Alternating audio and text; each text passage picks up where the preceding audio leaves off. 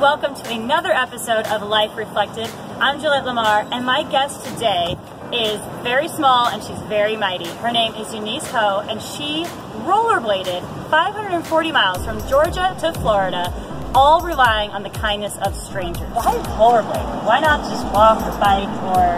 Um, actually, initially I thought of walking across America because the ultimate goal is really to raise awareness um, to build schools for girls all around the world.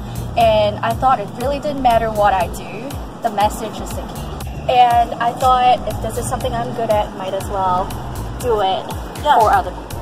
I might only do 30, 35 miles a day, but uh, I, I could talk to so many people, I could make a lot of friends and just keep stopping, talking, going. Only 35 miles a day. So I decided to do the uh, Georgia to Miami journey show people that there's so much kindness in the world. Just trust and believe in people once in a while. We're gonna go skate now. You guys ready? Yeah. How you feeling? Feeling good? Oh, this is like protection if I fall on my hands. Really close. She's ready.